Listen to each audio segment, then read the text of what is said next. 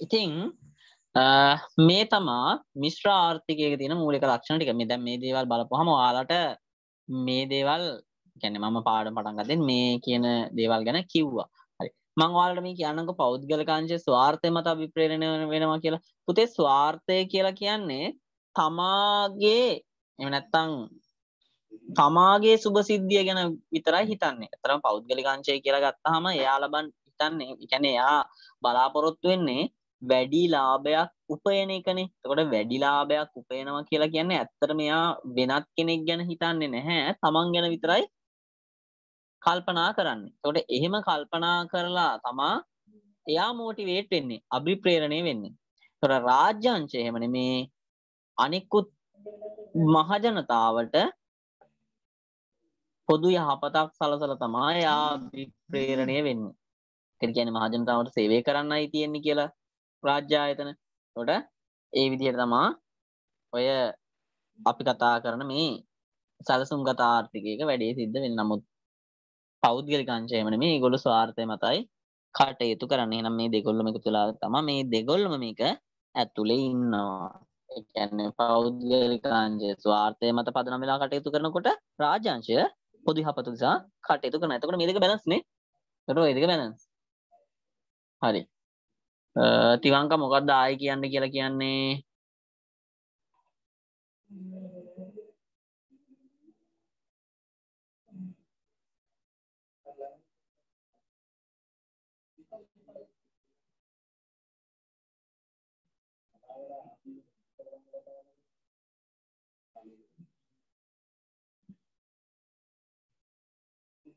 තිවංක ඔයා මොකක්ද කිව්වේ? ඒක මං අතින් කියවුණාද? හරි නම ඉස්සරහට යනවා ඈ. ඊළඟට කියනවා නේද? සේවා නියුක්තියට පෞද්ගලික අංශය හා රාජ්‍ය අංශයේ දායකත්වය සපයනවා කියලා. මේ පුතේ කියන්නේ තිවංග පන්තියෙන් එළියට ගිහිල්ලා නේ. තප්පරයක් ඉන්නකෝ තිවංග පන්තියට එනකම්.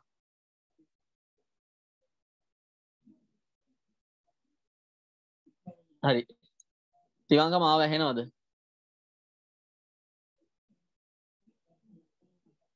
තිවංක ඔයාට මාව ඇහෙනවද?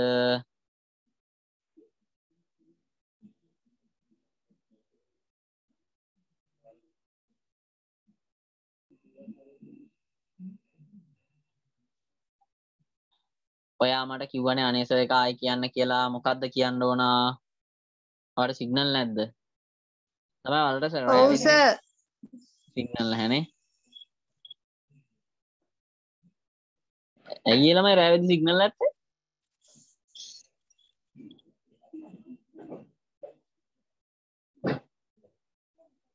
හරි. හරි. හරි වැඩේ හරි. ඉතින් අනිත් එක මේ හතරවෙනි එක සේවා නියුක්තියට පෞද්ගලික අංශය හා රාජ්‍ය අංශයේ දායකත්වය සපයනවා කියලා කියපුවාම මේ කියන්නේ සේවා නියුක්තිය කියලා කියන්නේ පුතේ ශ්‍රමය විතරක් නෙමේ ශ්‍රමිකයාව සේවා නියුක්ත කරනවා කියන කාරණාව විතරක් නෙමේ මේකේදී කතා කරන්නේ නිෂ්පාදන සම්පත්තික සේවා නියුක්ත කරනවා. එතකොට භූමිය සේවා නියුක්ත කරන්න ඕන, ප්‍රාග්ධනය සේවා නියුක්ත කරන්න ඕන, ශ්‍රමයක් සේවා නියුක්ත කරනවා. ඒ කියන්නේ අපි මේ කතා කරන මානව සම්පත් සහ දේපල සම්පත් කියන මේ කොට්ටාස දෙකම සේවා නියුක්ත කරන්න ඕන. එතකොට මේ කොට්ටාස දෙකම සේවා නියුක්ත කරන්න පෞද්ගලික අංශයත් සහභාගී වෙනවා, රාජ්‍ය අංශයත් සහභාගී වෙනවා. ඒ කියන්නේ පෞද්ගලික අංශයේ සතු දේපල තියෙනවා නම් මානව සම්පත තියෙනවා නම් එයාලා ඒක සේවා නියුක්ත කරනවා. රාජ්‍ය අංශය මොකද කරන්නේ? තමා සතු දේපල සම්පත් සහ මානව සම්පත් ටික සේවා නියුක්ත කරනවා. කියන්නේ භූමිය ශ්‍රමය, ප්‍රාග්ධනය, යසාකත්වය කියන ඔය දේවල් ටික මෙයාලා සේවා නියුක්ත කරනවා කියන කතාවයි අපිට මෙතනදී කියන්නේ. ඔය ටිකත් ලියාගෙන ඉවරයිනේ. එහෙනම්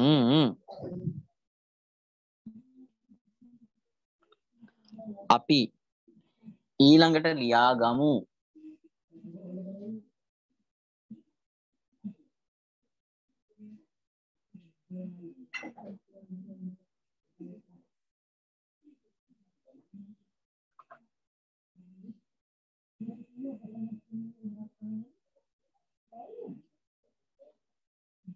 එක් එක්.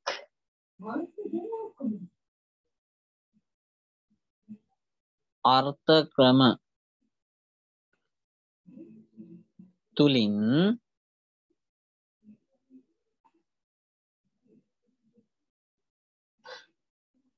මූලික ආර්ථික ප්‍රශ්න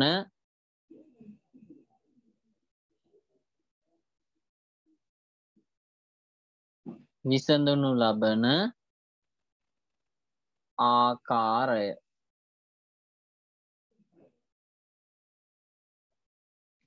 ශහර එදා තෑග්ග හම්බුණා නේද? ප්‍රශ්නට? උත්තරේ කියපකට අනිත් අය හිතුවනේ අනිත් අය හිතුවනේ මම විහිළුවට කිව්වේ කියලා. හරි උත්තරේ කිව්වනේ ඉතින් මම දුන්නේ.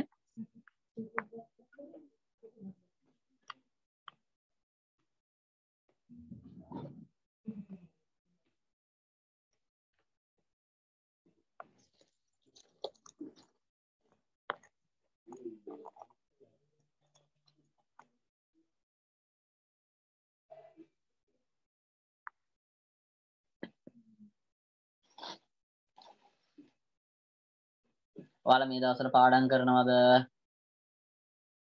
නැද්ද? නෑ.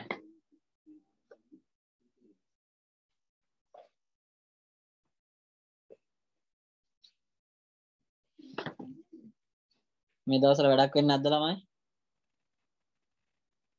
මෙලෝ රහක් නැද්ද?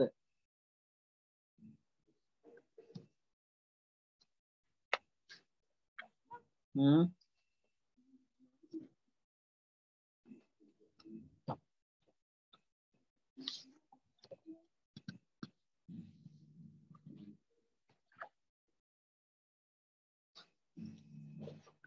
අපි විනාඩි පහක විතර පොඩි ඉන්ටර්වල් එකක් ගමුද? මට තවදුර ටිකක්වත් දීලා ඉන්න ඕන ළමයි. හරි. දැන් වෙලාව 9:20යි 25 වෙද්දි එන්න. යන්න එපා මේක මේ මීටින් එක එන්න නැහැ මේකෙම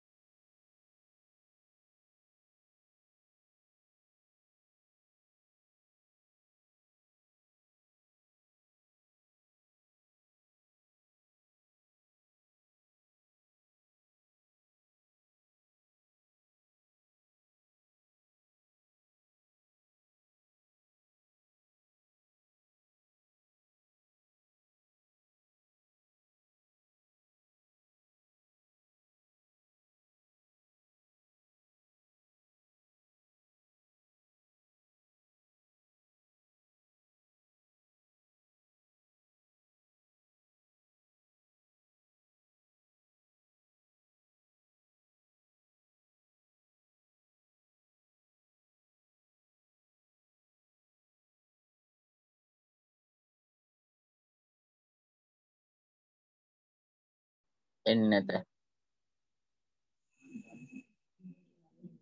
හරි. අනුමාතෘකාවක් ලියා ගන්න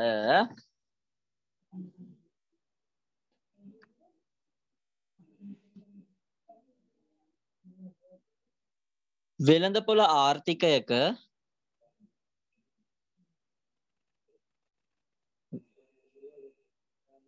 වෙළඳපොළ ආර්ථිකයක මූලික ආර්ථික ප්‍රශ්න විසඳා ගන්නා ආකාරය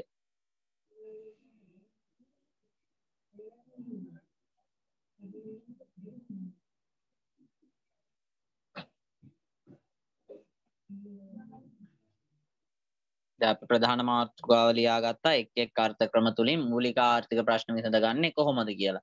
දැන් ඔය එක් එක් අර්ථ ක්‍රම කියලා කියන්නේ පුතේ ඔයාලා ඉගෙන ගත්ත අර්ථ ක්‍රම තුනයිනේ තියෙන්නේ. ආර්ථික ක්‍රම තුනයිනේ තියෙන්නේ. එතකොට මොනාද සැලසුම් ආර්ථික තියෙනවා වෙළඳපළ ආර්ථික තියෙනවා මිශ්‍ර ආර්ථික තියෙනවා. ඔකින් ඉස්සලාම අපි කතා කරේ වෙළඳපළ ආර්ථිකනේ.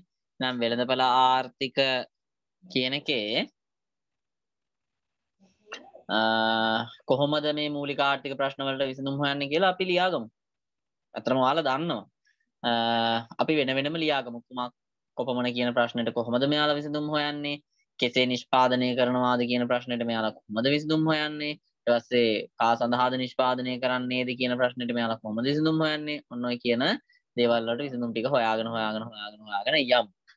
හරි.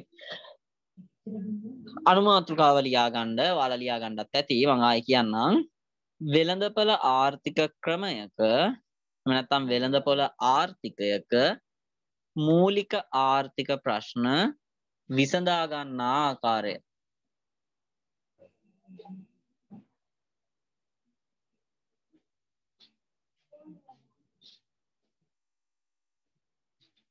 මූලිකා ආර්ථික ප්‍රශ්න විසඳා ගන්නා ආකාරය. හරි. එතකොට මේ වෙළඳපළ ආර්ථිකයක මේ වෙළඳපළ ආර්ථිකයක කුමක් කොපමණ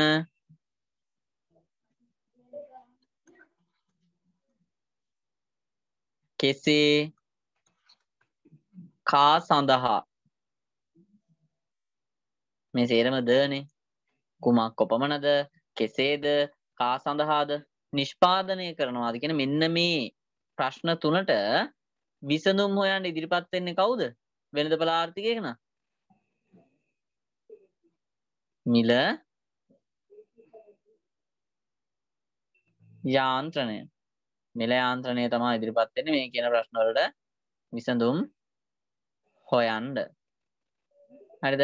එතකොට මේ මිලයාන්ත්‍රණය කියන එක්කෙනා කොහොමද මේ ප්‍රශ්න තුනට විසඳුම් හොයන්න කියලා අපි ඔන්න වෙන වෙනම කතා කරන්නයි ලෑස්ති වෙන්නේ. හරි.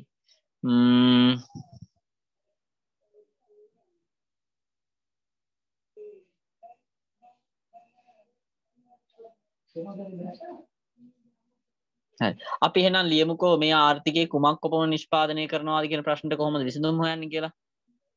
ඔයාලා ලියාගණ්ඩ වෙනදපල ආර්ථිකයක මූලික ආර්ථික ප්‍රශ්න විසදා ගන්න ආකාරය කියලා ලිව්වනේ. අපි ලියමු කුමක් කොපමණ නිපදවිය යුතුද? පළවෙනි ප්‍රශ්නේ. කුමක් කොපමණ නිපදවිය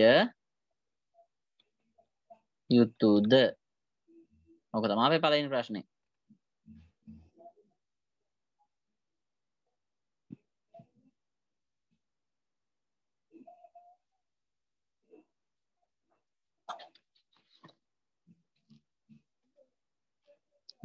එතකොට දැන් මෙහෙම කුමක් කොපමණ නිපදවන්න ඕනද කියන ප්‍රශ්නයට අපි විසඳුම් හොයන්න යද්දී වෙළඳපළ ආර්ථිකයක සිද්ධ වෙන්නේ මොකක්ද?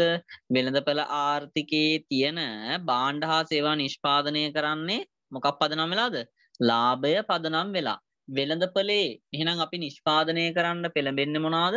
වැඩි ලාභයක් තියෙන භාණ්ඩ තමයි නිෂ්පාදනය කරන්න පෙළඹෙන්නේ. කොයිම වෙලාවකවත් ඔයාලා අඩු ලාභයක් තියෙන භාණ්ඩේ නිෂ්පාදනය කරන්න පෙළඹෙනවද? නැහැනේ මොකද අපි කියනවනේ වෙළඳපළ ආර්ථිකයක තියෙන ස්වාර්ථය පදනම් වෙලා කියලා. ඒතකොට ස්වාර්ථය පදනම් වෙලා නිෂ්පාදන කටයුතු වල නිරත වෙනකොට අපි කිසිම වෙලාවකවත් අඩු ලාභයක් තියෙන භාණ්ඩය නිෂ්පාදනය කරන්න පෙළඹෙන්නේ නැහැ.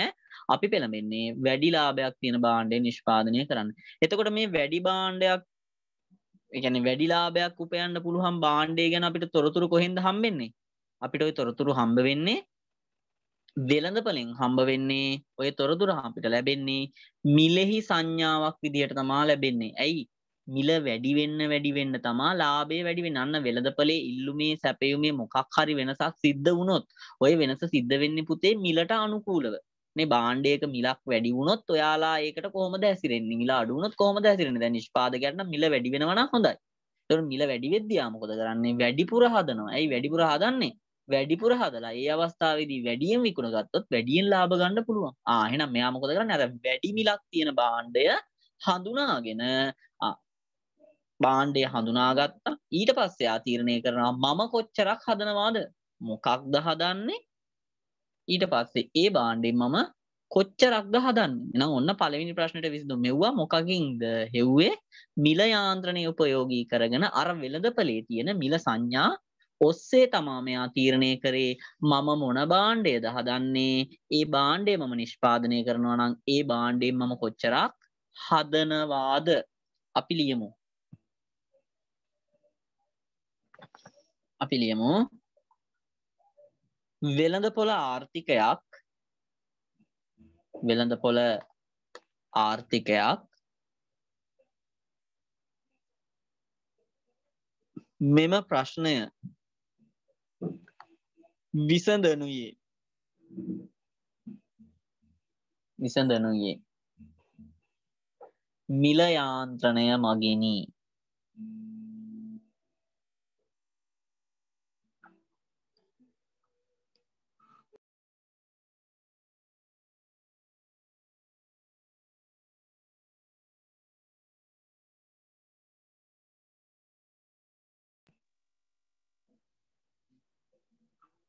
මිල යාන්ත්‍රණය මගිනි.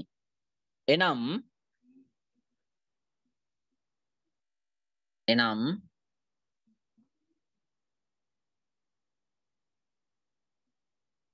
බාණ්ඩ හා සාධක වෙළඳ පොලෙන් බාණ්ඩ හා සාධක වෙළඳ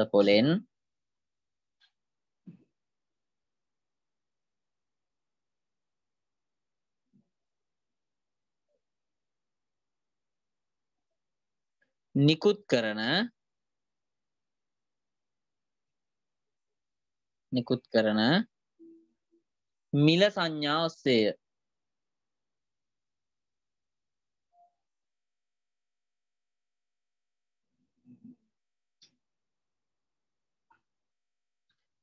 ආයමල ඉදන් කියන කියලා කියන දර්ශය හරි. කුමක් නිපදවිය යුතුද? කියන ප්‍රශ්නයට අපේ විසඳුම් හොයන්න යනකොට ඒක විසඳ ගන්න ආකාරය මම ආයෙ ඔයාලට කියන්නම්. ඔයාලා අඩුපාඩු තියෙනවා හදාගෙන යන්න. වෙළඳපළ ආර්ථිකයක් මෙම ප්‍රශ්නය විසඳනුයේ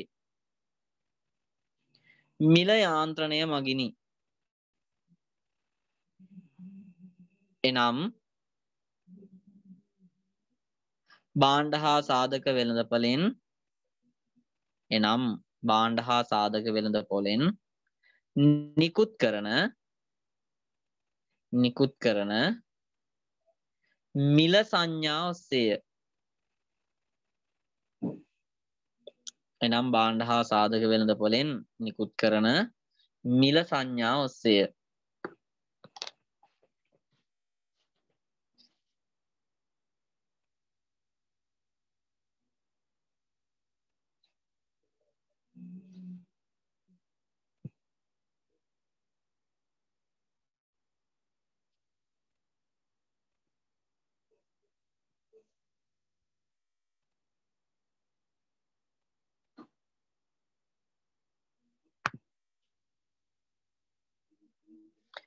දෙවනි ප්‍රශ්නේ. මොකක්ද දෙවැනි ප්‍රශ්නේ?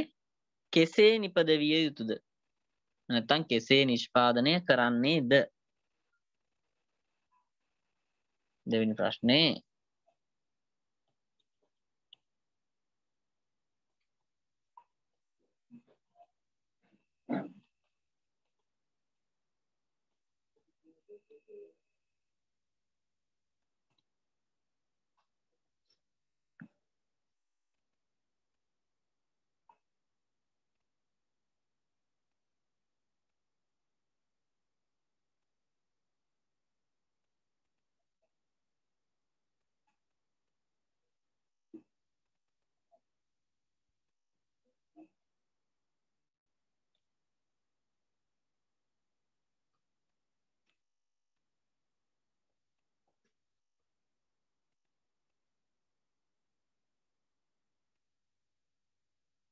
හරි.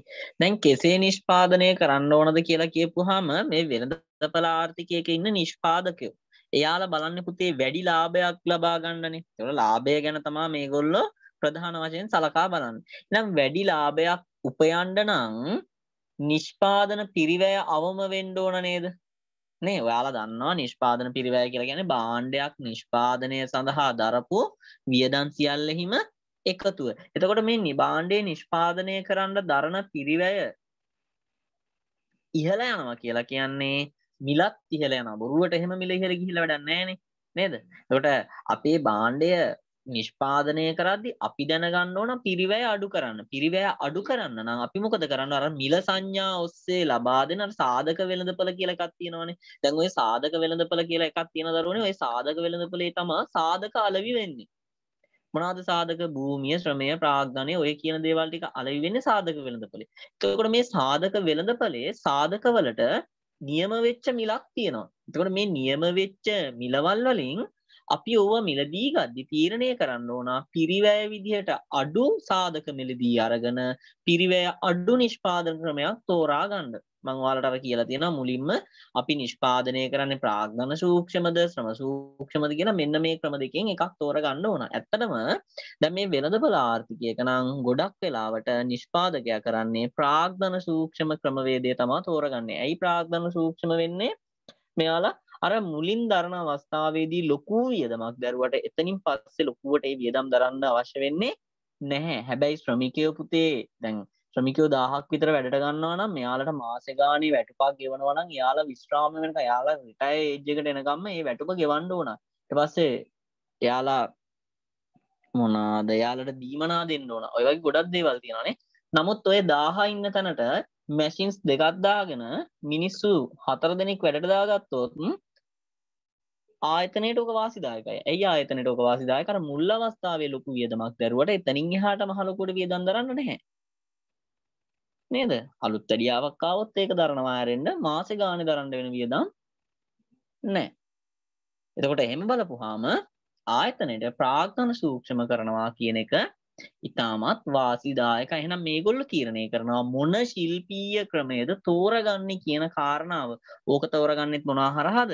අර මිල ලබා දෙන මිල සංඥා හරහා එහෙම නැත්නම් මේ මිල යාන්ත්‍රණයේ තියෙන මඟ පෙන්වීම යටතේ තමයි අපි මේ දේවල් සිද්ධ කරන්නේ මුලින්ම කිව්වනේ මේ කුමක් කොපමණ කෙසේ කා සඳහා නිෂ්පාදනය කරනවාද කියන මේ සම්පූර්ණ ප්‍රශ්න තුනටම විසඳුම් හොයන්නේ මිල යාන්ත්‍රණය හරහා කියලා. එතකොට මේ මිල යාන්ත්‍රණය තමයි අපිට අපි තෝරගන්න ඕන කාර්යක්ෂම පිරිවැය අඩු නිෂ්පාදන ක්‍රමය අපිට තෝරලා දෙන්නේ. හරිද? ඕක තමා වෙන්නේ. එතකොට අපි වෙළඳපලට ගිහාම එහෙම නැත්නම් අපි සාධක හොයද්දී සාමාන්‍යයෙන් සුලභව අපිට මුණ ගැහෙන සාධක. සුලභ. ඒ කියන්නේ අපිට ලේසියෙන්ම හොයාගන්න පුළුවන් නිෂ්පාදන සාධක සාධකවල මිල ගණන් ඉතාමත් අඩුයි. හරිද? සුලභයි කියලා ඕන තැනක තියෙනවනේ. ඕන විදිහට හොයාගන්න පුළුවන්. හරිද? දැන් අපි කියන්නේ නුපුහුණු ශ්‍රමය කියන එක. නුපුහුණු ශ්‍රමය අපිට ඕන තරම් හොයාගන්න පුළුවන්. එතකොට ඒවට ලබා දෙන මිල ගණනොත් ඉතාම අඩුයි. හැබැයි අපි කියන මොනාද? දුර්ලභ දේවල්. එකන්නේ අපි ගැන දුලබයි කියලා. දුලබ නිෂ්පාදන සාධක. ඒවට ගෙවන්ඩ වෙන මිල ඉතා ඉහලයි එකට උදාහරණයක් පුහුණු ශ්‍රමය කියන එක. පුහුණු ශ්‍රමය කියන එක ආර්ථිකයකට හිඟයි. හරිද? තවට මේ පුහුණු ශ්‍රමයට අපි ඒක මිලදී ගන්නවා නම් පුහුණු ශ්‍රමය මිලදී ගන්නවන ඒ සඳහා ගෙවන්ඩෝන මිලත් ඉහලා එතකොට මේ කියපු හාම අපි මොකද කරන්නේ? සුලබ අපිට ලබාගන්න පුළුවන් සාධක වැඩිපුරදාගෙන ඇයි වැඩිපුරදාගන්නේ ගෙවන්ඩ ඕන ගාන අඩුයිනේ. අර දුලබව හොයාගණ්ඩ ඕන දේවල් ටික අඩුවෙන් දාගෙන පිරිවෑ අඩුවෙන් වැඩි කරගෙන යනවා.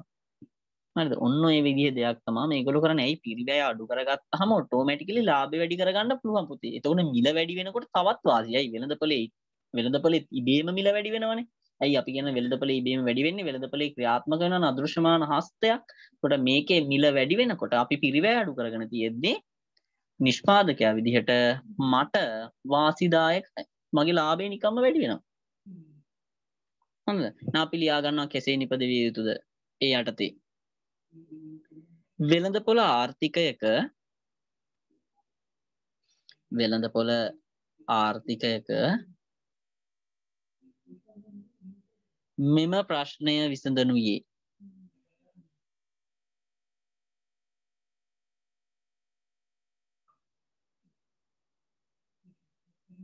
වෙළඳපොළ ආර්ථිකයක මෙම ප්‍රශ්නය විසඳනුයේ. මිලයාන්ත්‍රණයේ මඟ පෙන්වීම යටතේය. යටතේය කියලා ලියන්න එපා. යටතේ කියලා ලියන්න. වෙළඳපළ ආර්ථිකයක මෙම ප්‍රශ්නය විසඳනුයේ මිල යාන්ත්‍රණයේ මඟ පෙන්වීම යටතේ. කාර්යක්ෂම ශිල්ප ක්‍රමය කාර්යක්ෂම ශිල්ප ක්‍රමය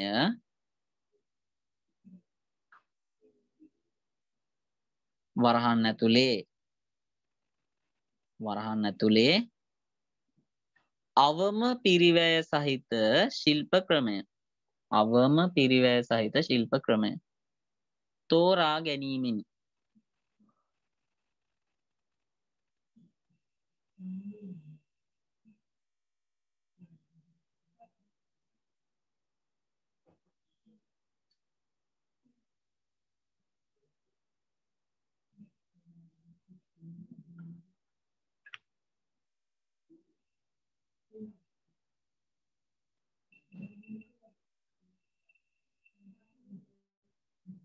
හරිද?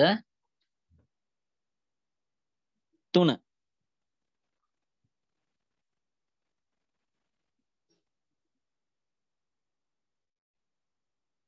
තුන්වෙනි ප්‍රශ්න මොකක්ද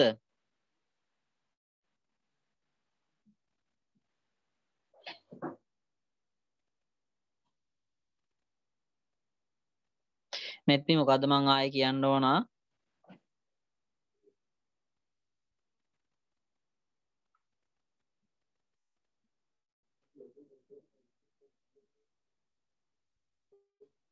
සර් කෙසේ නිෂ්පාදනය කරන්නේද කියන එක ඒක ආයි කියන්න ඕනද? මිල යාන්ත්‍රණය මඟ පෙන්වීම යටතේ ඉඳන් ඔව් සර්. මම මුලින්දම කියන්නම් ඈ. වෙළඳපොළ ආර්ථිකයක මෙම ප්‍රශ්නය විසඳනුයේ මිල යාන්ත්‍රණයේ මඟ පෙන්වීම යටතේ කාර්යක්ෂම ශිල්ප ක්‍රමය කාර්යක්ෂම ශිල්ප ක්‍රමය වරහන් ඇතුලේ අවම පිරිවැය සහිත. වරහන් ඇතුලේ අවම පිරිවැය සහිත. ශිල්ප ක්‍රමය වරහන් වහන්ඩ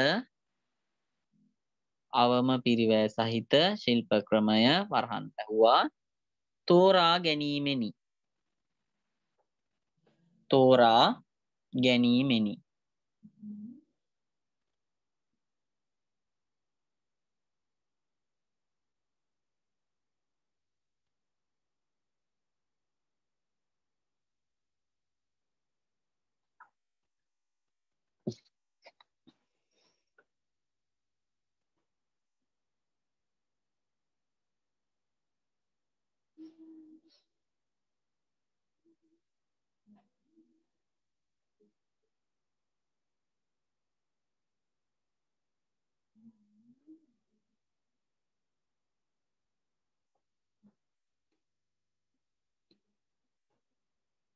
හරි. තුන්වෙනි ප්‍රශ්නේ.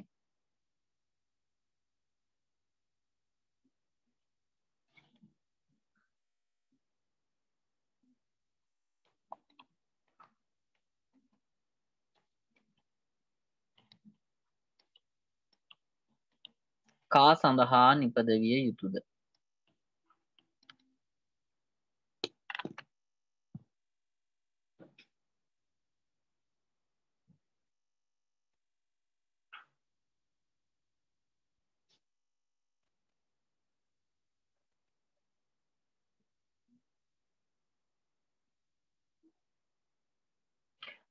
එතකොට ඔයාලා දන්නවා අතර මේ ඔයාලා දන්න දේවල්මයි මම කතා කරගෙන යන්නේ ඒකයි මම ඔයාලා දන්නවා කියලා කියන මොකද මම මුලින් මුලින් සමහර දේවල් කියලායි ඇවිල්ලා තියෙන්නේ මිනිස්සුන්ට එහෙම නැත්නම් මේ වෙළඳපළ ආර්ථිකයක ඉන්න කුටුම්බවලට ආදායම් උපයා ගන්න පුළුවන් ක්‍රම තමා සාධක අලෙවි කරලා. මොකද අපි කියනවානේ සාධකවල හිමිකාරීත්වය මේ වෙළඳපළ ආර්ථිකයක තියෙන පුතේ පෞද්ගලිකාංශය සතුව කියලා. එතකොට පෞද්ගලිකාංශය කියලා කියන්නේ මේ අපි කුටුම්බය. නේද? සහ ව්‍යාපාරංශ. එතකොට මෙයාලට භූමියේ අයිතිය තියෙනවා. ශ්‍රමයේ අයිතිය තියෙනවා. ප්‍රාග්ධනයේ අයිතියක් තියෙනවා.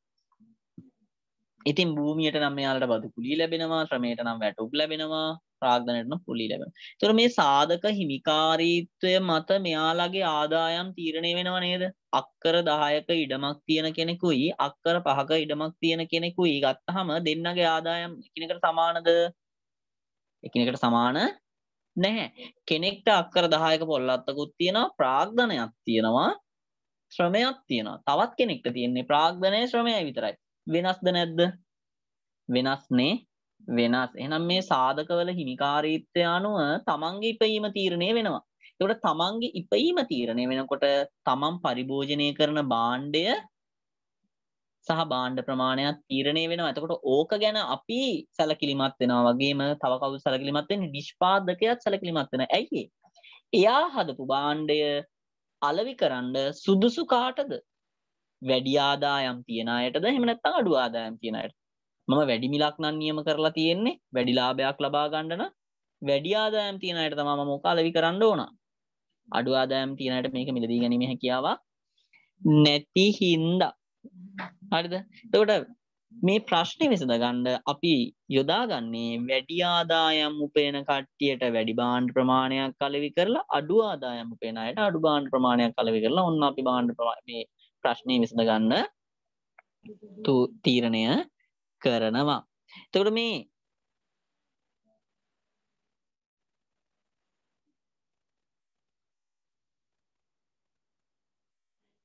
මේ කියන මේ සාධකවල හිමිකාරීත්වය අනුව තමන්ගේ සාධක ආදායම් තීරණය වෙනකොට මෙයාලගේ ක්‍රය ශක්තිය තීරණය වෙනවා. ක්‍රය ශක්තිය කියලා කියන්නේ මොකද්ද? මේ භාණ්ඩ හා සේවා මිලදී ගැනීමේ හැකියාව. ඉතින් අර මිලදී ගැනීමේ හැකියාවක් තියෙන අයට නේද අපි අලෙවි කරන්නේ? කාට හරි ඕක මිලදී ගන්න බැයි නම් අපි ඕක යාට විකුණනවද? ඔයා භාණ්ඩයේ මිල නියම කරනවා රුපියල් 75යි කියලා. රුපියල් 75යි. ඒ කියන්නේ අතේ රුපියල් 75ක් තියෙන කෙනෙක්ට විතරයි ඔයාගේ භාණ්ඩයේ මිලදී ගන්න පුළුවන්. මංගාව තියෙන රුපියල් 50යි. මම කඩේට ඇවිල්ලා ගියපුවම රුපියල් 50යි තියෙන කියලා ඔයා කියන දා 50 දෙන්න අවුලක් නැහැ කියලා. නෑ එහෙම කියන්නේ නැහැ. ඔයා කියයි ආ රුපියල් 50ට වෙනම භාණ්ඩයක් තියෙනවා. එහෙම කියයි. නමුත් 75ක් ගෙවලා ඔයාට මේක පරිභෝජනය කරන්න බැයි නම් රුපියල් 50ට මේක දෙන්නේ නැහැ. මිලක් ගෙවිය හැකි අයට විතරයි අපි නිෂ්පාදනය කරන්නේ. නිකන් දෙන්නේ නෑ කියන එකයි මෙතනදී අදහස් වෙන්නේ. ඒ කියන්නේ මිලදී ගැනීමේ හැකියාවක් තියන අයට ඔන්න අපි මේ භාණ්ඩය හදලා විකුණනවා. ඕක තමා කරන්නේ. අපි ලියමු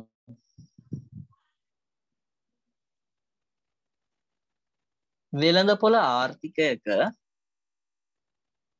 වෙළඳපොළ ආර්ථිකයක මෙම ප්‍රශ්නය විසඳනුයේ. වෙළඳපොළ ආර්ථිකයක මෙම ප්‍රශ්නය විසඳනුයේ. මිල යාන්ත්‍රණය මගිනි. මිල යාන්ත්‍රණය මගිනි. එනම් එනම් එනම් සාධක වෙළඳ පොලේ සාධක වෙළඳ පොලේ.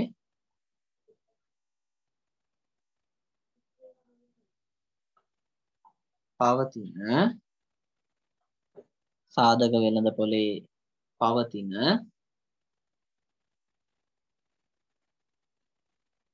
මිල ගණන් මගිනි.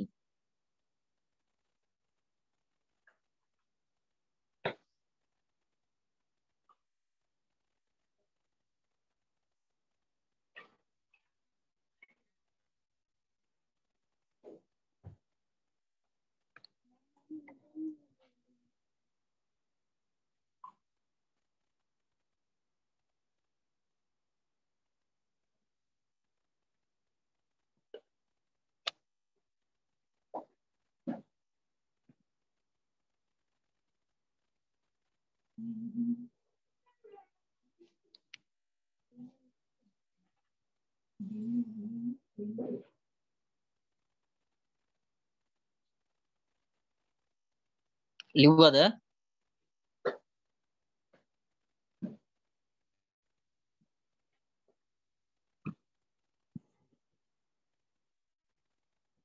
පුතේ ඉවරද වැඩ? ඉවරයිනේ ඉවරයි එහෙනම් ඊළඟට අපි ලියමු.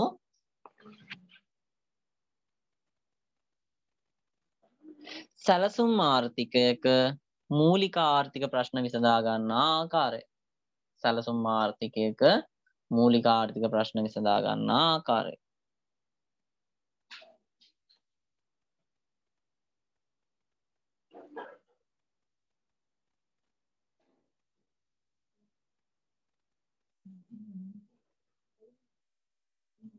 嗯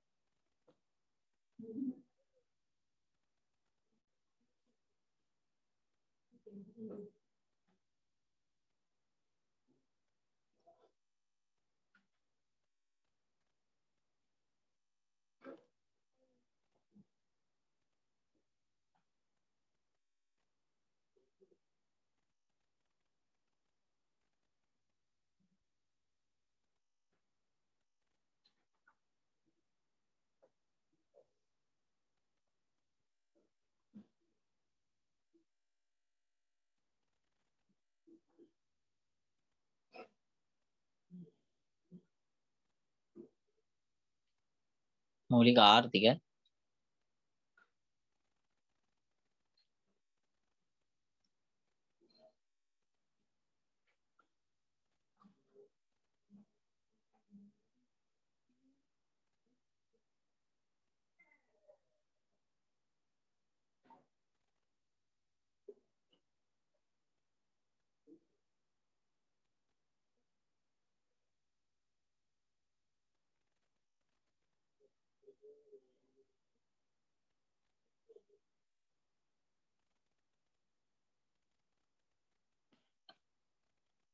ඉතිං. නිදිමතද කට්ටියට නෑනේ කෝ ඉන්නාද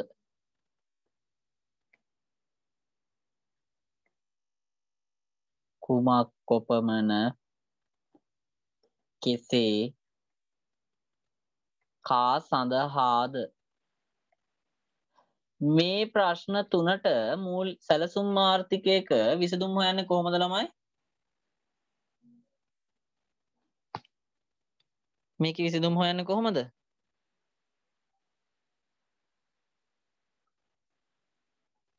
දන්න කෙනෙක් කියන්න.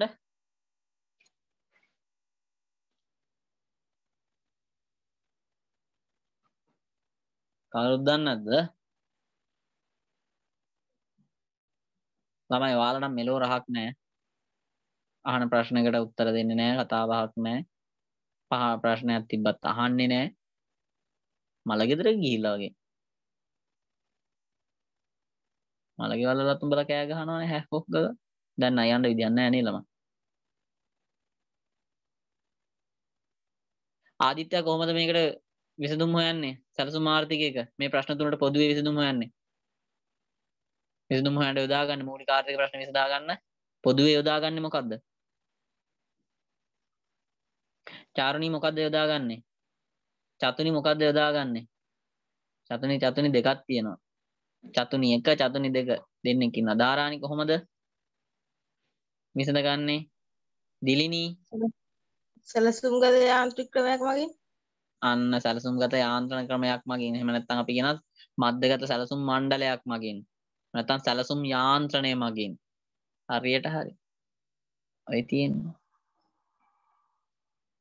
සැලසුම් යාන්ත්‍රණය මගින් තමා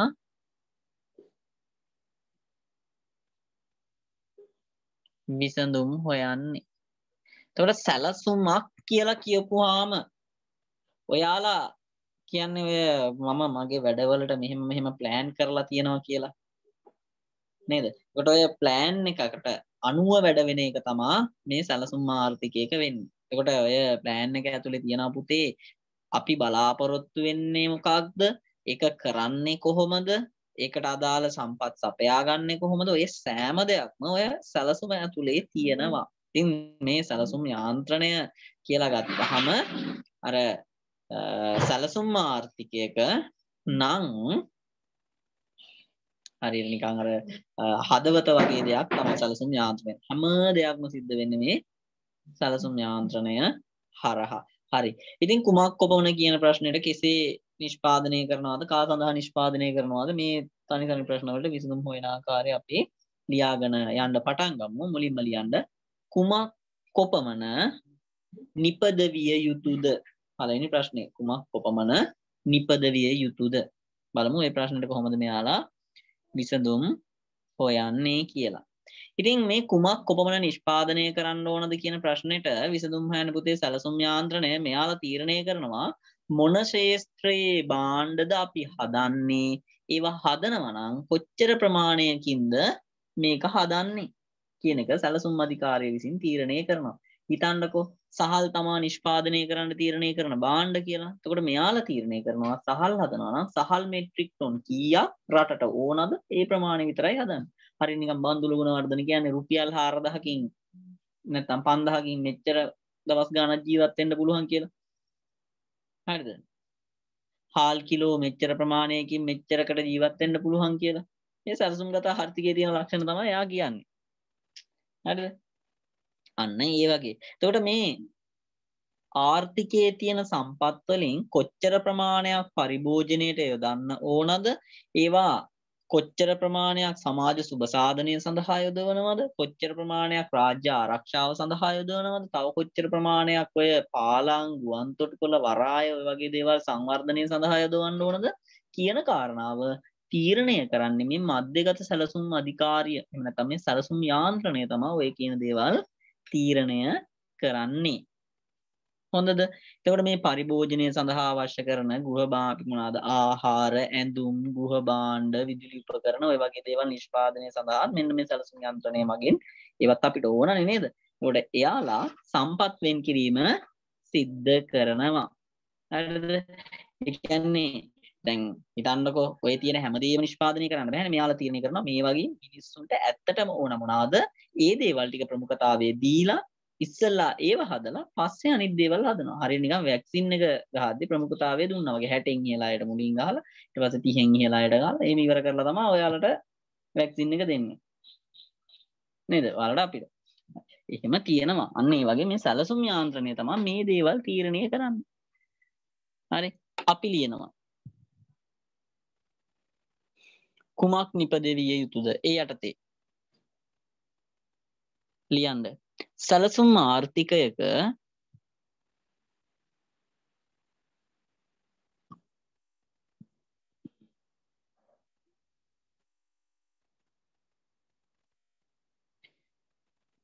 සැලසුම් ආර්ථිකයක සම්පත් බෙදාවෙන් කිරීම සිදුවන්නේ. සැලසුම් ආර්ථිකයක සම්පත් බෙදාවෙන් කිරීම සිදුවන්නේ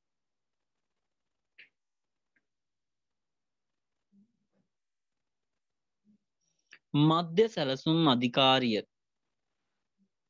මධ්‍ය සැලසුම් අධිකාරිය.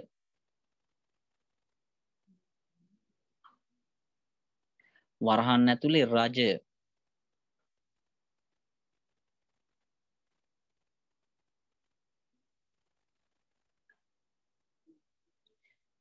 විසින් නිකුත් කරන විසින් නිකුත් කරනු ලබන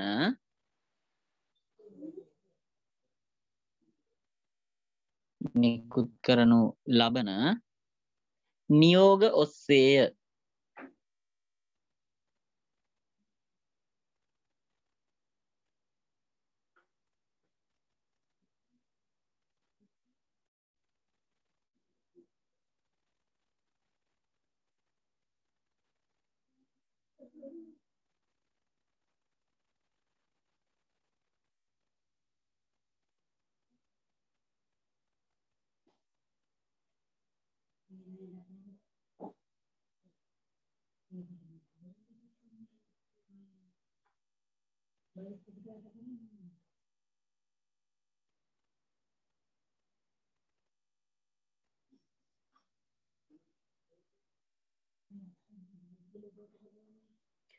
හරි.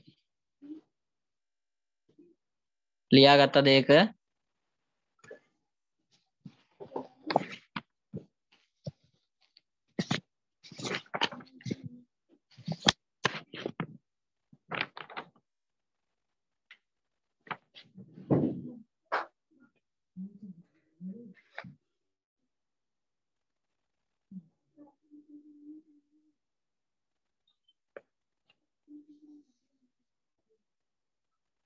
හරිද? ඊළඟ එක අපි ලියනවා කෙසේ නිපද විය යුතුද?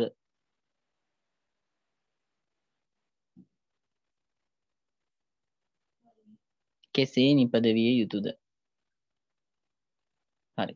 දැන් මේ කෙසේ නිපද විය යුතුද කියන ප්‍රශ්නෙට විසඳුම හොයන්න යද්දී දැන් ඇත්තටම මේක රාජ්‍ය අංජනය කරන්න. එතකොට අධිකාරියක් විසින්න කරන්නේ. තොර මේ අධිකාරය විසින් මේක ගැන සැලසුම් හදද්දී පුතේ මූලික වශයෙන් කරන්න මෙයාලා තොරතුරු රැස් කරන තොරතුරු රැස් කරනවා එකින් අදහස් වෙන්නේ මෙයාලා විකල්ප නිෂ්පාදන ක්‍රම පිළිබඳව තොරතුරු ටික රැස් කරගන්නවා. හරිද?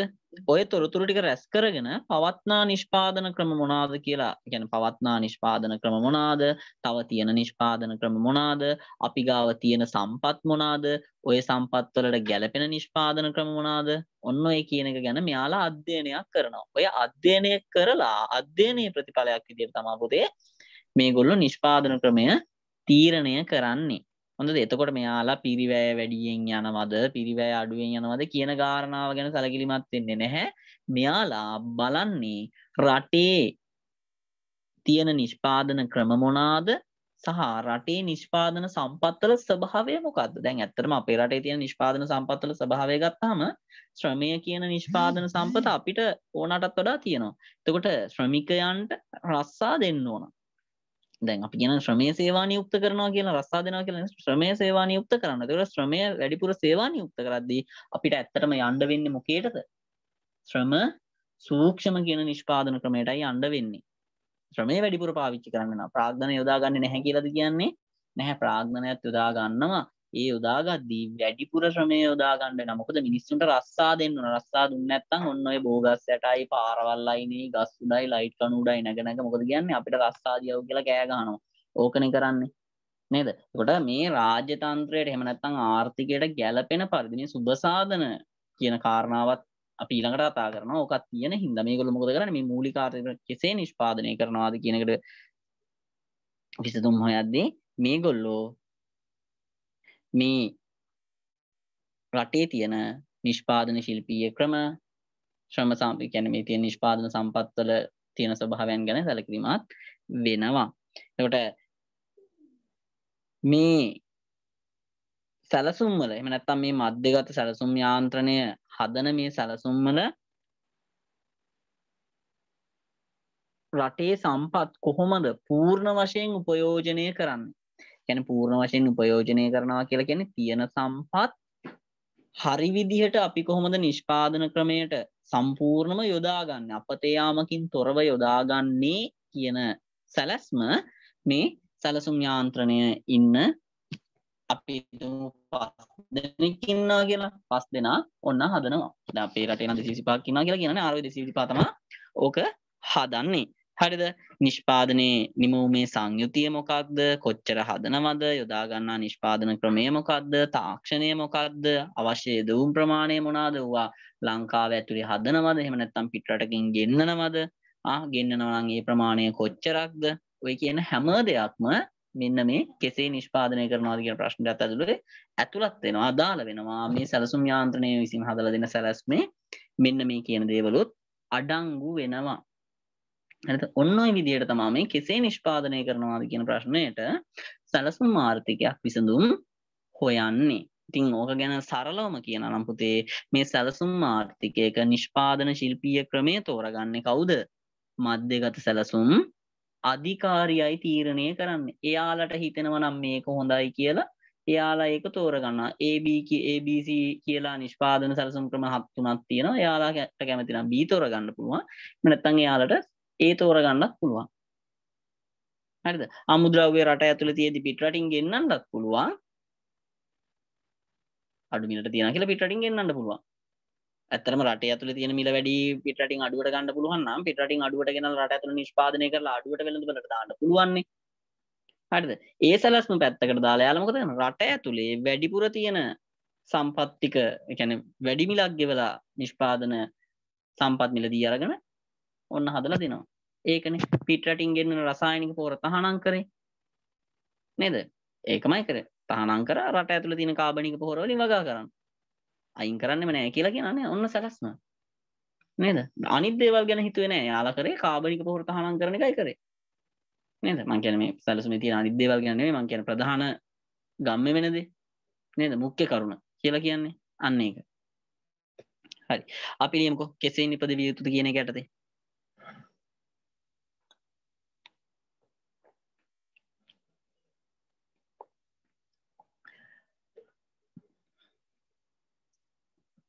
හරි මම සාමාන්‍යයෙන් දැන් මම මේ පැහැදිලි කරන දේවල් ටිකත් ඔයාලා මතක තියාගන්න ඕන.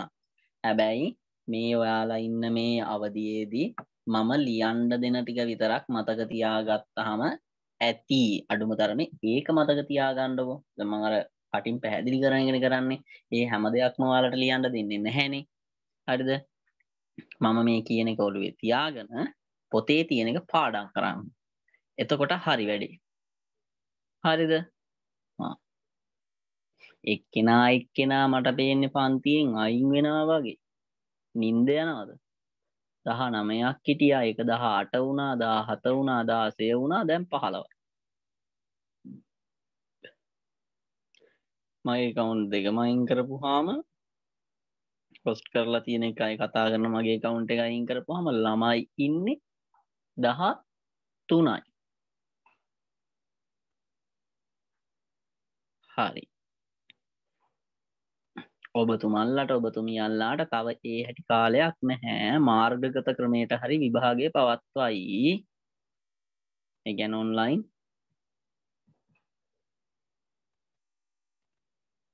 සතුටුවෙන් දෙපා පොත් පෙරලා ලියන්න පුළුවන් කියලා. එහෙම පොත් පෙරලා ලියන්න බැරි වෙලා මම පැය තුනක් පැය තුන තමයි පොත් පෙරලා පෙරලා ඉති පැය තුනයි අයියේ. හරි. ලියන්න ඕක කෙසේ නිපද විය යුතුද කියන ප්‍රශ්නෙට?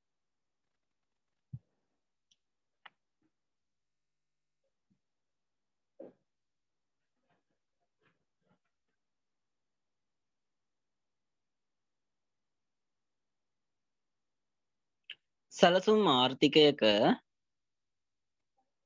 සැලසුම් ආර්ථිකයක නිෂ්පාදන ශිල්ප ක්‍රමය තෝරා ගනු ලබන්නේ. සැලසුම් ආර්ථිකයක නිෂ්පාදන ශිල්ප ක්‍රමය තෝරා ගනු ලබන්නේ. මධ්‍ය සැලසුම් අධිකාරිය. සෑක පොඩ්ඩකයි කියන්නකෝ කියන්න සැලසුම් ආර්ථිකයක සැලසුම් ආර්ථිකයක නිෂ්පාදන ශිල්ප ක්‍රමය. සැලසුම් ආර්ථිකයක නිෂ්පාදන ශිල්ප ක්‍රමය. තෝරා ගනු ලබන්නේ. තෝරා ගනු ලබන්නේ. මධ්‍ය සැලසුම් අධිකාරිය. මධ්‍ය සැලසුම් අධිකාරිය. වරහන් ඇතුළේ රජය. මගිනි.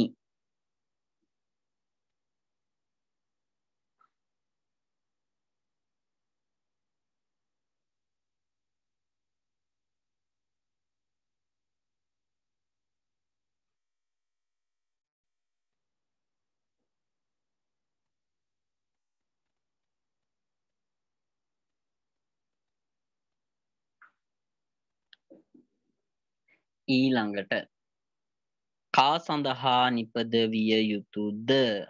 කා සඳහා නිපද විය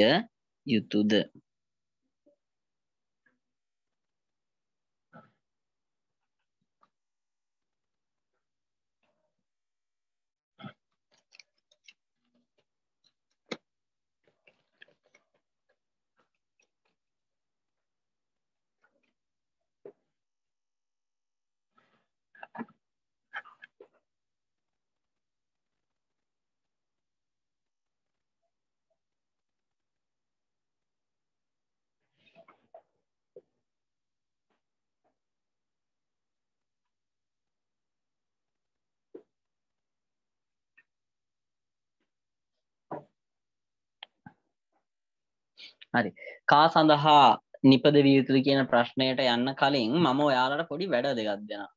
ඒ පොඩි වැඩ දෙක තමා එකක් ඔයාලා ඇත්තටම දැන් අන්තර්ජාලය පරිහරණය කරනවනේ. සහ ඔයාලා අන්තර්ජාලයේ සමාජ මාධ්‍යවල සැරිසරනවා අම්බාණයකට සැරිසරනවා. හරිද? මට මෙන්න මේ දේවල් දෙක හොයලා දෙන්න ඕන. මම අහද්දි නෑ බෑ මම මයික් මියුට් කරගෙන ඉන්න ඒවා කරන්න එපා. මම මීටින් එකෙන් එළියට දානවා. මම වැඩි වෙලාවක් මීටින් එකෙන් එළියට දැම්මොත් පුතේ ඔයාට ආයි මීටින් එකට ලොග් වෙන්න බෑ. ඉතින් ඒ தත්ත්වය උදා කරගන්න එපා. හරිද? මේකයි මම ඔයාලට දෙන වැඩ දෙක. එකක් තමා අපේ රටේ අපේ රටේ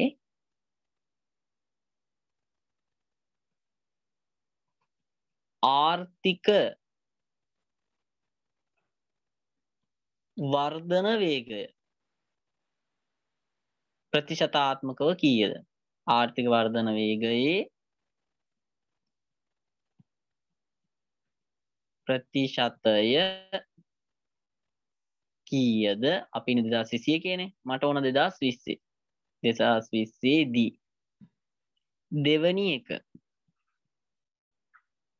අපේ රටේ ඒක පුද්ගල ආදායම ඇමරිකානු ඩොලර් කීයද? මේ වාල සර්ච් කරදි සිංහලින් සර්ච් කරන්න බෑනේ. ඉංග්‍රීසියෙන් තම සර්ච් කරන්න ඕන. මේ වගේ දන්න ඇති ඉංග්‍රීසි වචනටික මං කියන ආර්ථික වර්ධන වේගයට අපි කියනවා ඉකොනොමික් ග්‍රෝත් රේට් කියලා.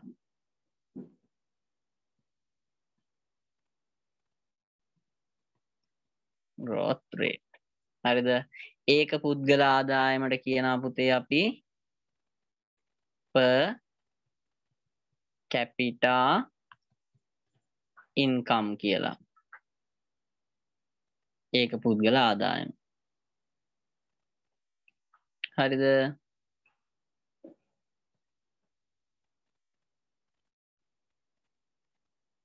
ඉතින් මෙන්න මේ දෙක ඔයාලා මට හොයලා දෙන්න ඕනා. කවදද ඔයාලා මට හොයලා දෙන්නේ? කවදද හොයලා දෙන්නේ? චතුනි කවදද හොයලා දෙන්න මට?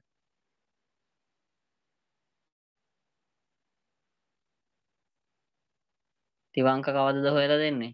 ශහාර කවද්ද හොයලා දෙන්නේ? දිලිනි කවද්ද හොයලා දෙන්නේ? ඉම්හානි කවද්ද හොයලා දෙන්නේ? ඊළඟ දවසේ පන්ති තියෙන දවස වෙද්දි හොයාගෙන එනවද?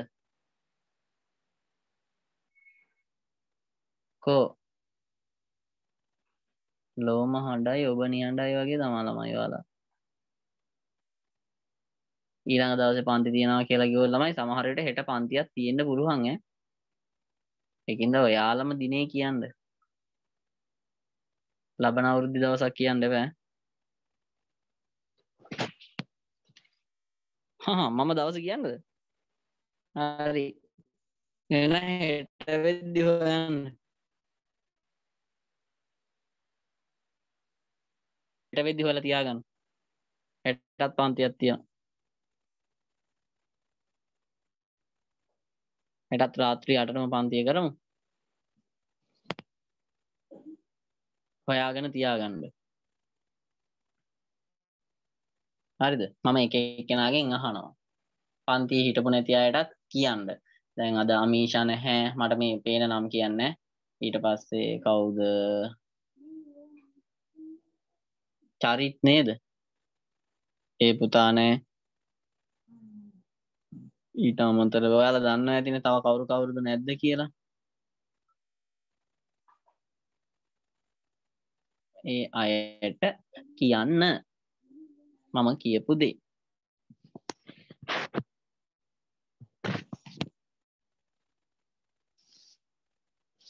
හරි. කා සඳහන් නිෂ්පාදනය කරනවා ඉතින් පුතේ මේ කා සඳහා නිෂ්පාදනය කරනවාද කියන එකත් තීරණය කරන්නේ කවුද? මධ්‍යගත සැලසුම් මණ්ඩලයම තමා තීරණය කරන්න. හරිද? මධ්‍යගත සැලසුම් මණ්ඩලයම තමා තීරණය කරන්න මේ හදපු බාණ්ඩ ටික කාතරද බෙදා හරින්නේ. එතකොට මේ වැටුප් මට්ටම ඊට පස්සේ භාණ්ඩ හා සේවා වල මිල ගණන් ඔය හැම දෙයක්ම තීරණය කරන්නේ මධ්‍යගත සැලසුම් අධිකාරිය. එතකොට මේ දැන් අපි වනේ ශ්‍රමය හැර අනෙකුත් සියලුම සාධකවල අයිතිය තියෙන රජයට කියලා. දැන් ශ්‍රම සාධකේ නම් අයිතිය තියෙන්නේ අපිට ආදායම් උපයන්න පුළුවන් එකම ක්‍රමය මොකද්ද? ශ්‍රමය සපයලා. එතකොට ශ්‍රමය සපයන හින්දා අපිට ආදායම් වෙනවා. අපිට ක්‍රය ශක්තියක් තියෙන මිලදී ගැනීම හැකියාවක් තියෙනවා වැටුප් ලැබෙන හින්දා ඔය ලැබෙන වැටුප වියදම් කරලා අපි භාණ්ඩ හා සේවා පරිභෝජනය කරනවා කවුරු හදනේවද පරිභෝජනය කරන්නේ රජය විසින් නිෂ්පාදනය කරන දේවල් ටික.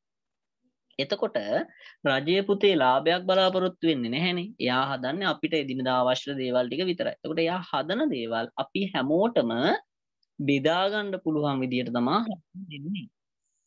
ඉතින් මේ කා සඳහා නිෂ්පාදනය කරනවාද කියලා කියපුවහම මේ සැලසුම් ආර්ථිකයක අපේ තියෙන ක්‍රය ශක්තිය එක්කෙනෙක්ගෙන් එක්කෙනෙක්ට වෙනස් වෙනවද?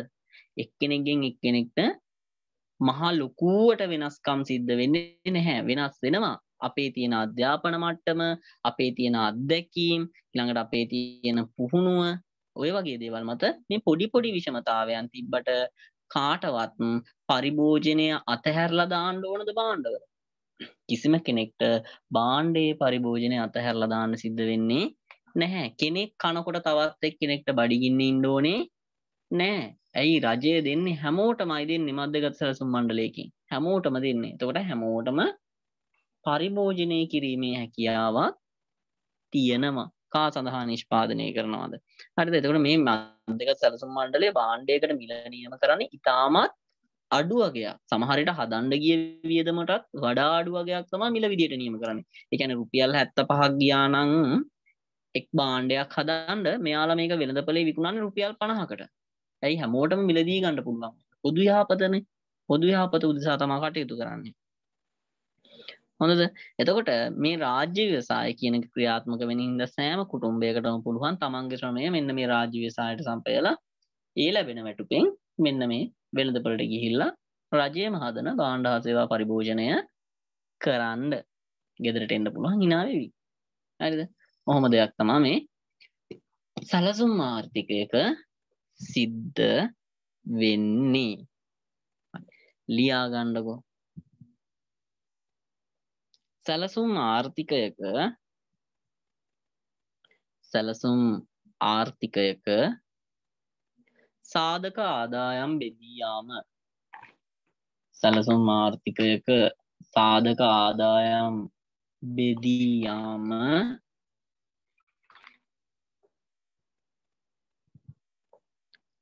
මධ්‍යගත සැලසුම් මණ්ඩලය. මධ්‍යගත සැලසුම් මණ්ඩලය. වරහන් ඇතුළේ රජය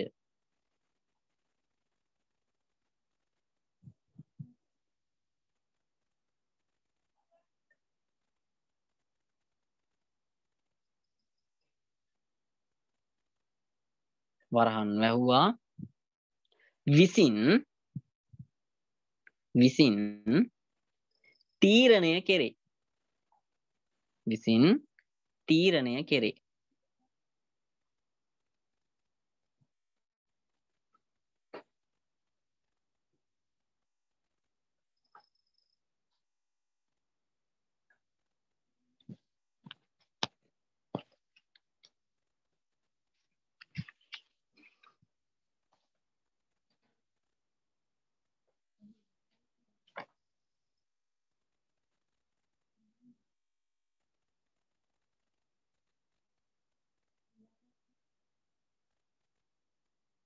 ඉවරද වැඩේ?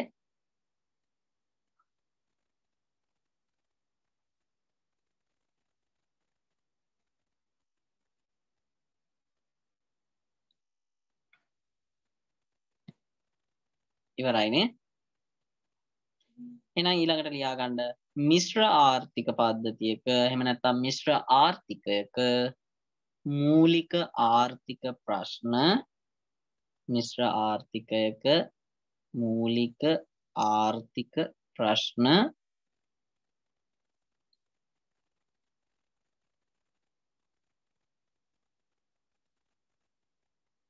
විසඳා ගන්නා ආකාරය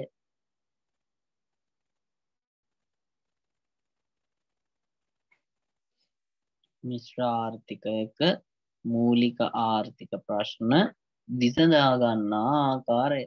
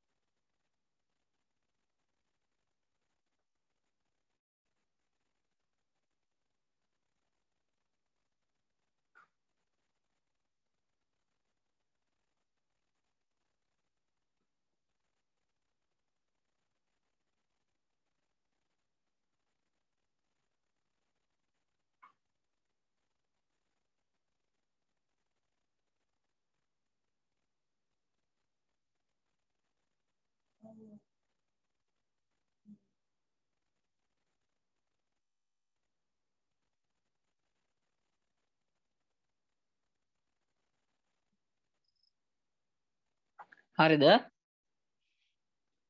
ලිව්ව නේද? හරි. ඊළඟ ගෙදර වැඩි. ඊළඟ ගෙදර වැඩේ මොකක්ද මිශ්‍ර ආර්ථිකයක මූලික ආර්ථික ප්‍රශ්න විසඳා ගන්න ආකාරය ඔයාලා ලියන්ඩ ඕන. මිශ්‍ර ආර්ථික පද්ධතියක මූලික ආර්ථික ප්‍රශ්න විසඳා ගන්න ආකාරය ඔයාලා ලියන්ඩ ඕන.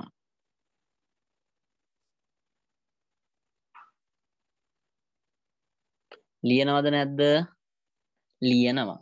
ලියලා ඔය පොතේ ලියන්න එපා. ඔයාලා නෝට් ලියන පොතේ ලියන්න එපා. කොලයක් අරගෙන වෙනම ලියන්න ලියලා හරිනම් මම හරි කිව්වට පස්සේ පොතේ ලියන්න. ඔයාලා ලියන්නේ කොලයක ලියලා දවල් 12ට කලින්. හෙට මොන හරි පන්ති තියනවද? මම දැක්කා ඔයාලගේ අවිස්කස පන්ති දාලා තියෙනවා. කීනම් කීයටද පන්ති දාලා නැත්තම් ඔයාලා මට 12ට කලින් ඉවන්න ඕනේ.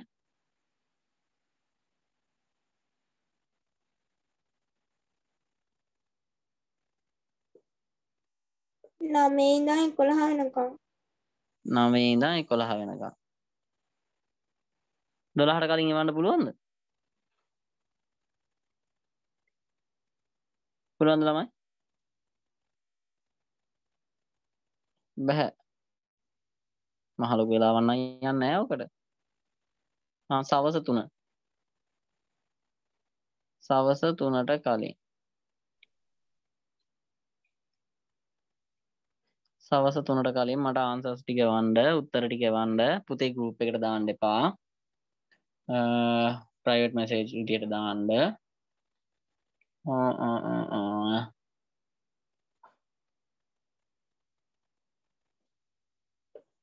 මට උත්තරේ වන්නේ නැති අය ගැනත් මම බලා ගන්නම් ඈ. හරි.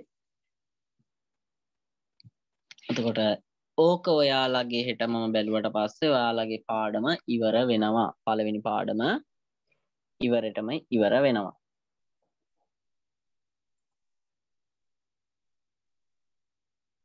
දිනිදිවා මට මොන හරි කියනවද? මට ඇහුන්නේ සිග්නල් නැති හින්දා අපහු කියන්නකෝ. හරි. මට කලින් කිව්වේ ඇහුන්නේ සිග්නල් නෑ අපහු කියන්නකෝ. හරි කියන්න මම කිව්වේ මිශ්‍ර ආර්ථික පද්ධතියක එම නැත්තම් මිශ්‍ර ආර්ථිකයක මූලික ආර්ථික ප්‍රශ්න විසඳා ගන්නා ආකාරය. මිශ්‍ර.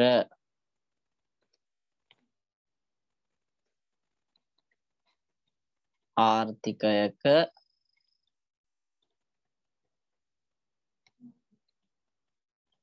මූලික ප්‍රශ්න විසඳා ගන්නා ආකාරය. ලියන්ඩ කියලයි මම කිව්වේ ඔයාලට. ඔයාලයි ලියන්න.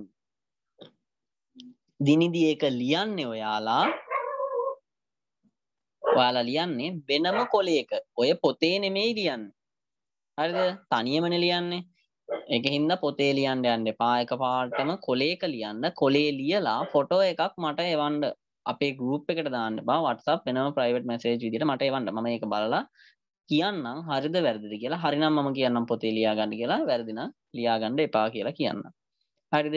හවස 3ට කලින් උත්තර ටික එවන්න ඕනා. හවස 3ට කලින් ඔයාලා මට උත්තර එව්වේ නැත්නම් පන්තිය පටන් ගද්දි ඔයාලා මට අ, එවලා තිබ්බේ නැත්තම් මම අනික් අයගේ නම් ටිකත් මම කියනවා මට ගෲප් එකේ බලලා කිව්ව හැකිනේ කවුද? එවලා නැත්තේ කියලා. එයාලා මට ආන්සර්ස් ටික එවනකම් මම අනිත් අයට ආන්සර්ස් දෙන්නේ නැත. මම මේ ගැන කතාවත් කරන්නේ නැහැ. ඔයාලා ඔක්කොම තුන වෙනද කලින් লীලා ඉවර කරලා මට එවන්නේ නැත්තම්. කතා කරන්නේ නැහැ කියලා කිව්වොත් කරන්නේ නැහැ ළමයි.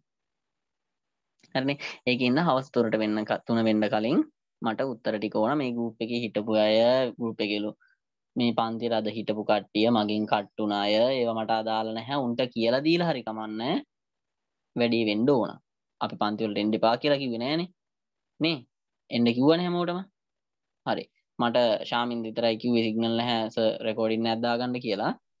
මේ අනිත් අය මට උත්තර ටික එවන්න ඕන. හරි.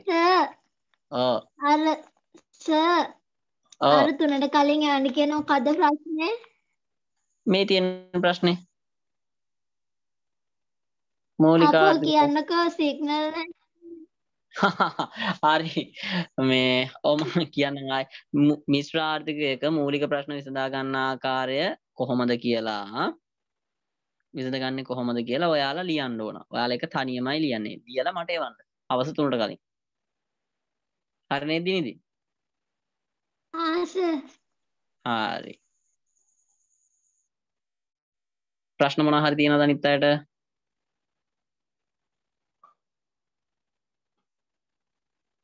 ප්‍රශ්න මොනවත් තියෙනවද? දැනගන්න මොනවා හරි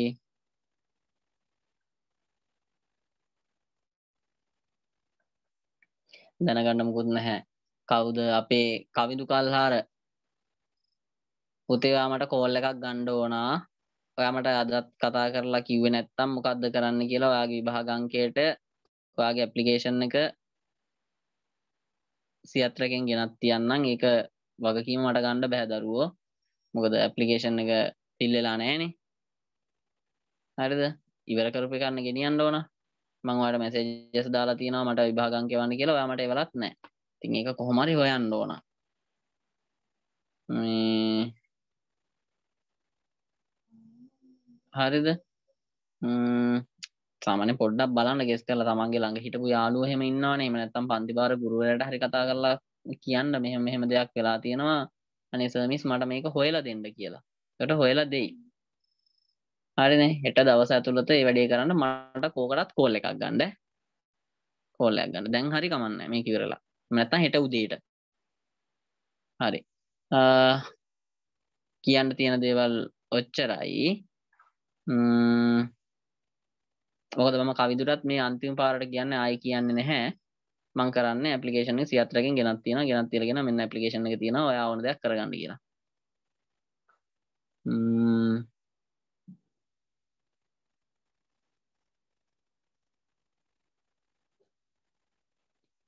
හරි. මේ මොකක්ද අනිත් කාරණා මෙහෙම කිව්වට මේ කියනවට තරහ වෙන්න එපා ළමයි ඈ. ඉතින් අපිට කරන්න දෙයක් නැහැනේ. එතන ගිහිල්ලා අපෙන් අහපුවාම ඔයාලගේ විභාග නම් මේ අංක අපි දන්නේ නැහැනේ. ඒතකොට අපි මේ හොල්මන් වෙනවා ඒව කතා කරපුවාම. අපිට දෙන්න උත්තර නැහැනේ. අපි කියපුවාම ඔයාලට ඒවා මතක නැහැ අරකයි මේකයි කියලා කිව්වම බලනවනේ අපෝ මේ වගේ ළමයිට උගන්වන්නේ කියන එකත් ඒ මිනිස්සු හිතනවනේ. අපිටත් වඩා ඉගෙන ගත්ත මිනිස්සු නේ හිතෙන් වල ඉන්නේ. ඒක නිසා අ හරි. එහෙනම් ඉතින් හෙට රාත්‍රී 8ටත් මුණ ගැහෙන බලාපොරොත්තුවෙන් අදට 20 ද හෙට අලුත් පාඩම් පටන් ගන්නවා ඈ. හරිනේ එහෙනම් හැමෝටම සුබ රාත්‍රියක්.